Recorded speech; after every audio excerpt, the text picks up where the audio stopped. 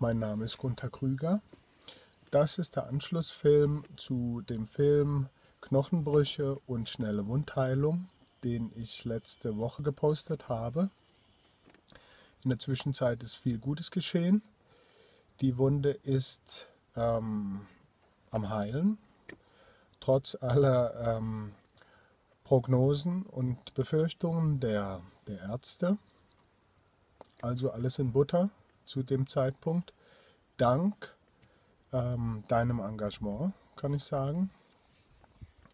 Tolle Sache. Ich hoffe, dass es viele inspiriert, diese Praxis auch zu machen, wenn sie oder wenn du davon betroffen bist. Und jetzt geht es natürlich weiter. Das heißt erstmal, ganz wichtig, die Praxis fortführen. So lange, bis das Ziel erreicht ist, nämlich vollständige Wiederherstellung der Funktion, vollständige Gesundheit, volle Versorgung, volle Heilung sozusagen.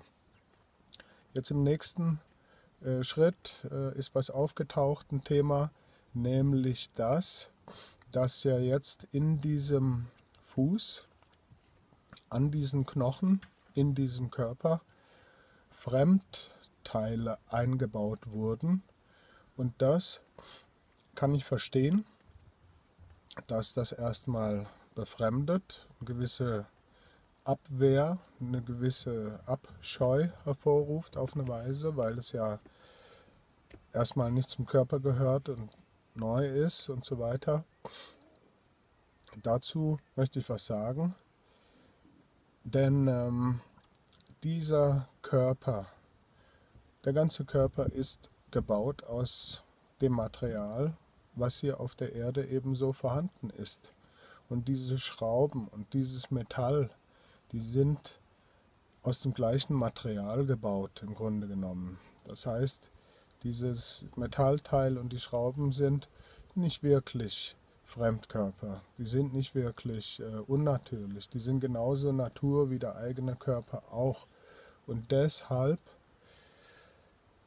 versuch's, es aus, diese Sichtweise mal anzunehmen, diese, dieses Metallteil, diese Schrauben mal anzunehmen als eine Hilfe dafür, dass es dir wieder gut geht, dass du rumlaufen kannst, dass sich alles wieder bewegt.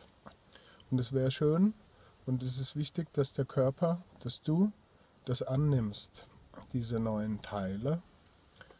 Denn wenn du sie annimmst, dann wird sie auch dein Körper annehmen und dann gibt es auch kein Problem. Und lass dich überraschen, was am Ende dabei rauskommt, wenn du diese Teile dankbar annimmst. Ich meine, das ist so ähnlich wie mit einer Brille. Es ist toll, eine Brille zu haben, wenn sie notwendig ist. Dann kann man was sehen und ähm, dafür kann man ja dankbar sein. Oder Genauso mit den Zähnen. Wenn da irgendwas ersetzt wurde, ist doch klasse.